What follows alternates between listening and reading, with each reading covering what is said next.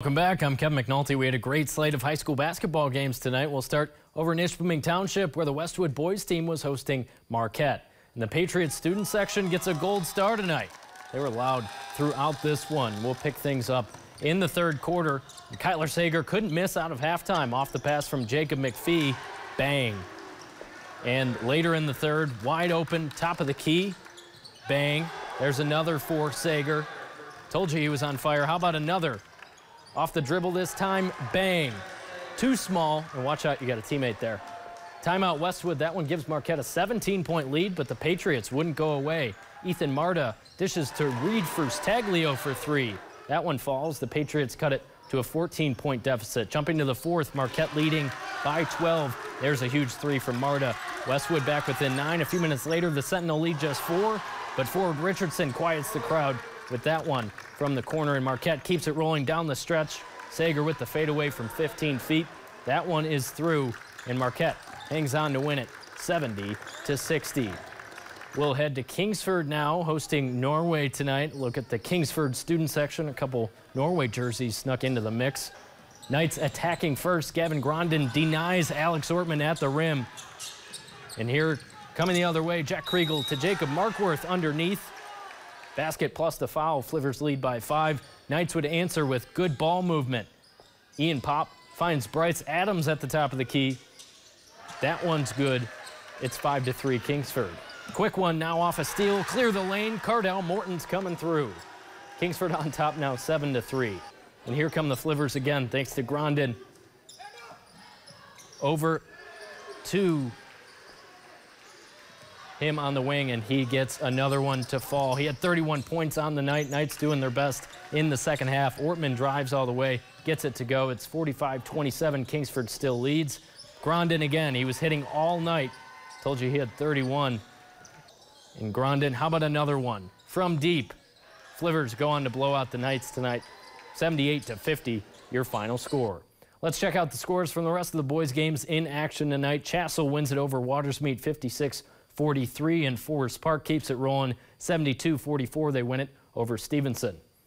Moving ahead, Lake Linden Hubbell keeps it going. Big win over Baraga 68 to 30, and Rudyard with an 18-point win over Brimley 61-43. North Central wins it over Carney-Nadeau, 54-32, and Big Bay de Noc with a 72-53 win over Maplewood Baptist. Also tonight, Dollar Bay wins it over Republic Michigamme and Superior Central beats Mid-Penn 32-21.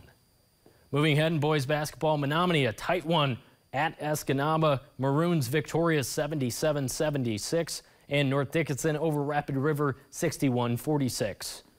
Also in boys basketball, Ishpeming in overtime over Houghton at home. They win it 65 to 60 and Munising takes care of Bark River Harris.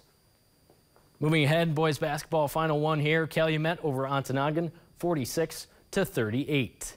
Now over to the girls' highlights from this evening. Ella Mason and Negaunee welcoming Lily Johnson and Gladstone for a Tuesday night battle.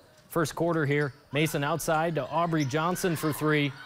She gets that one to go, and the Miners lead it four to one. On the other end, Tia Schoen no good from deep, but Addie Blowers comes out of nowhere for the putback and the Braves are back within one. Moving to the second quarter, Madison Peckrell with the steal. She holds on to it and finds Johnson for the long two. Negaunee takes an 11-point lead. And less than a minute later, Miners on the fast break. Mason pushes it ahead to Kira Waterman. Count the bucket and the foul, making it 19 to 5. And later in the second, Johnson gets the floater to go off the pass from Waterman, and the Miners go on to cruise to a 54 38 win. And back to Kingsford we go. The girls basketball team hosting Norway earlier in the day. Second half action, Lauren Adams sinks the triple and Kingsford leads 24-15. Flivvers now on the attack. Adams into the lane. She has the steal and the bucket coming the other way. And she cuts it to a seven-point deficit. Next, the Knights with the ball. Anna Bordolini bats the pass down, comes up with the steal, taking it all the way for the layup. Kingsford back up by 11. It's 30 to 19. Deflections and transition buckets on the agenda for the Flivvers tonight. Another steal, Bordolini over to Abby Preslikowski 4-2. It's 32-28 the Flivvers lead. Knights held tough off the missed three. Bortolini with a nice pass inside to Mia Kontner. And the Flivvers lead by three. Kingsford extends that lead late and could dribble out the clock. They go on to win it 44-31. And on the girls' scoreboard tonight, Ewen-Trout Creek with a 40-point win over Hurley, that 70 to 30 your final score. And Big Nowk wins a tight one over Maplewood Baptist, 37-35. Moving ahead to high school hockey this evening, Hancock doubles up Calumet 6-3 your final there, and Escanaba has no problem with Negaunee 9-1